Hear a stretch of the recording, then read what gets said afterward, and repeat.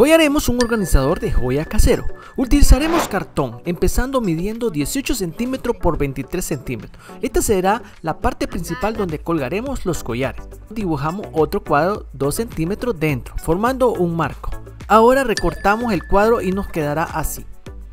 Luego haremos unos pequeños cortes, para eso marcamos medio centímetro, luego un centímetro y después nuevamente medio centímetro, así, repitiendo el proceso hasta llegar a 7 espacios. Después marcamos a un centímetro de profundidad para hacer los huequitos. Usamos el cúter y doblamos las tiritas antes de cortar los pedacitos. De esta forma los huequitos quedarán como dientes de serrucho pero cuadrados.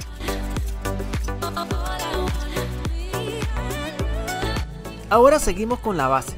Tomamos otro cartón y cortamos tres pedazos de 10 por 18 centímetros, junto con tres tiras de cartón de 18 por 3 centímetros. Luego pegamos todas las piezas con silicona para que se vean más gruesas, como si fueran de madera.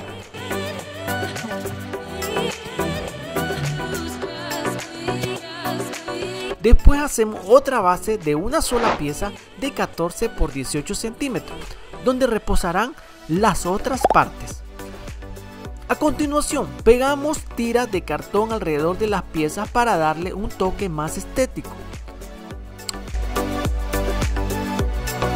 Luego forramos con vinil adhesivo de su preferencia. Cubrimos todas las piezas excepto la base de una sola pieza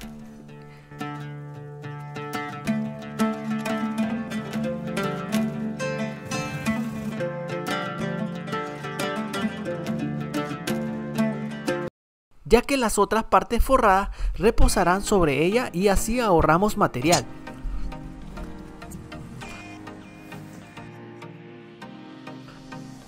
Ahora forramos el cartón principal donde irán los collares. Usamos tira de vinil para forrar las puntas de cada extremo. Luego forramos todo el contorno y, y cortamos un pedazo de vinil de 18 por 26 centímetros marcamos un marco a 2 centímetros dentro, trazamos y cortamos, dejando solo el borde. Ahora lo pegamos. Giramos y doblamos los pedacitos sobrantes hacia atrás, justo los que están en los dientes de los extremos. Y para la última parte tomamos foamy escarchado, lo medimos y lo pegamos doble según el gusto.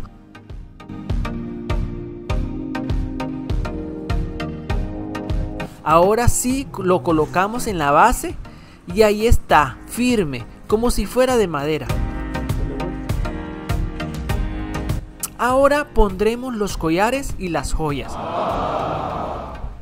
Y con eso amigos nos despedimos, no olviden suscribirse, comentar, preguntar, darle like y compartir.